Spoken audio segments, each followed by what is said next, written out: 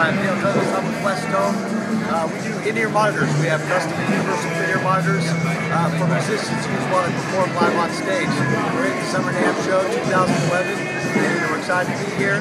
Uh, we have lots of different models to choose from in our custom fit. We have single driver, one full-range speaker in each ear, all the way up to five drivers, five speakers in each ear. All right, our custom fit line. In our universal fit line of monitors, we have single driver, dual driver, and a true three-way.